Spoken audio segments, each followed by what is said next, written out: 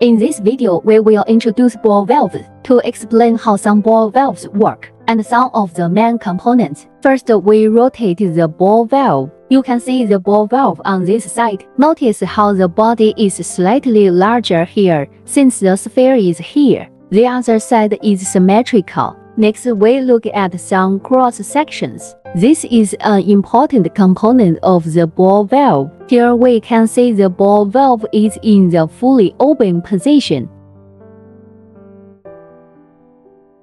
If we play the button, you can directly see in the animation that at this point the valve closes, and we've effectively stopped the traffic.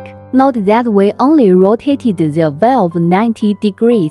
So this type of valve is a quarter turn or 90 degree turn ball valve. You can see that the metal material looks like stainless steel, just like the body itself.